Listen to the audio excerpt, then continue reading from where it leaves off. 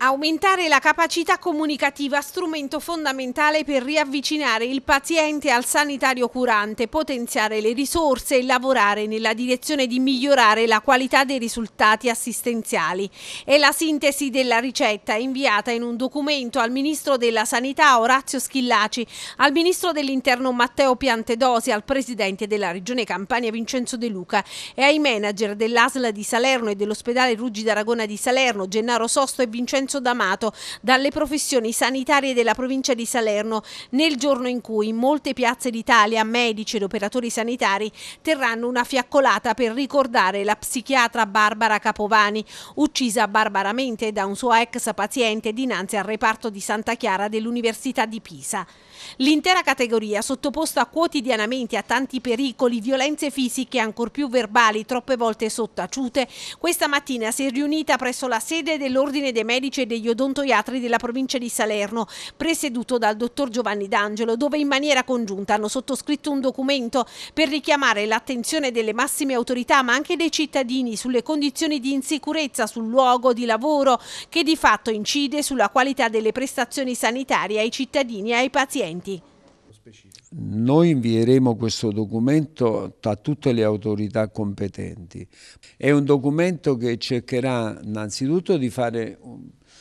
io dico breve perché l'analisi, se si volesse fare l'analisi dei momenti scatenanti la violenza, è un'analisi che porterebbe via veramente non pochi minuti né poche ore, ma giorni. Documento troverete delle indicazioni che possono essere indicazioni di massima, la prima delle quali è quella di monitorizzare un po' più attentamente quelle che sono le problematiche generate dalle eh, violenze perché le violenze che avvengono sono di gran lunga superiori a quelle segnalate, ma per varie motivazioni che specificheremo, ma che voi potete intuire, se non altro quando uno ha una famiglia a carico ed incontra una persona non certo gradita, e probabilmente pensa a proteggere più la famiglia che a denunciare. Il caso della psichiatra uccisa dimostra due cose. Uno, che i servizi per le dipendenze come quelli di salute mentale sono tra i servizi più esposti perché le richieste dei pazienti, a parte lo specifico caso insomma, di una situazione psicopatologica, sono richieste che hanno a che fare anche con il risvolto